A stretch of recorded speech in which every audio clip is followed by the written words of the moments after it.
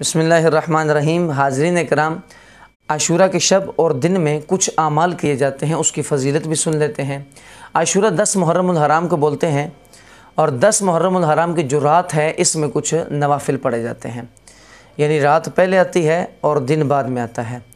आशूरा के शब, दस मुहर्रम हराम के शब जो नफल पढ़े जाते हैं, उसके बारे में ये फरमान मिलता है, जो चार रकात नमाज़ नफल पढ़ेगा, वो गुनाहों से पाक होगा और उसको जन्नत में बे इंतहा नेमतें मिलेंगी।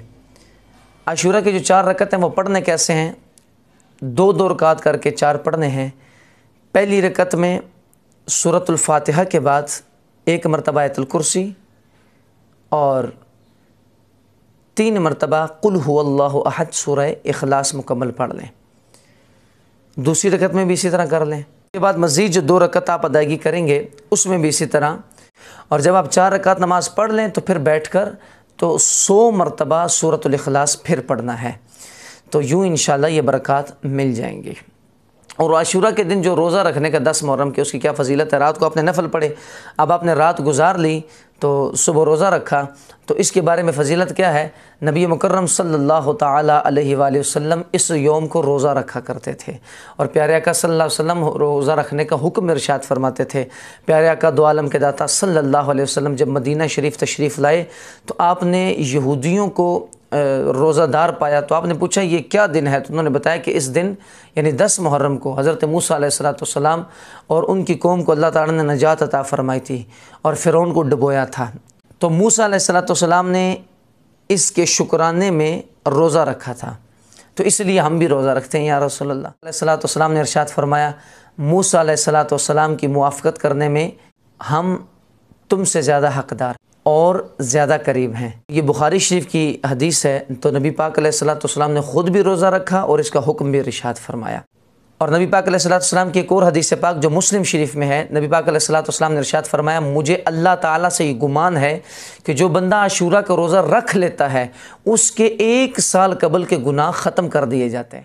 नाजरीन कराम एक बात काबिल गौर है, आप जब भी आशूरा शरीफ का दस मुहर्रम का रोज़ा रखें तो उसमें ये ख्याल किया करें कि उसके साथ एक नौवीं मुहर्रम का मिला लें।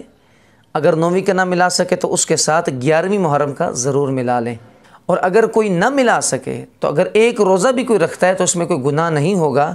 लेकिन बेहतर यही है, फजीलत ज़्यादा है इसकी कि दसवीं के साथ साथ एक रोज़ा उससे पहले या उसके बाद वाला साथ मिला लिया जाए।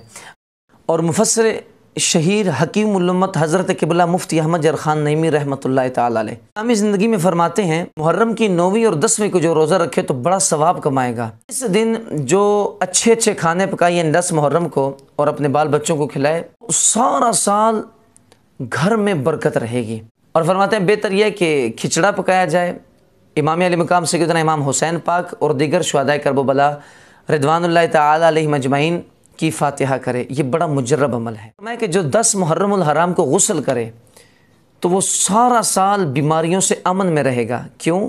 क्योंकि इस दिन तमाम पानियों में जमजम आता। शुआबुल ईमान की ये हदीस पाक नबी पाक सलाम ने फरमाए जो दस मुहर्रम को इसमद सुरमा लगाए इसमत सुरमा लगाए तो उसकी आँखें कभी नहीं दुखेंगी। इतनी प्यारी प्यारी बातें हैं। यकीनन ये हमारे साथ साथ दूसरे लोगों को पता होना चाहिए। तो इसके लिए इस पैगाम को खूब आम करें। अल्लाह पाक हम सबको अमल की तोफ़ी अता फ़रमाएँ।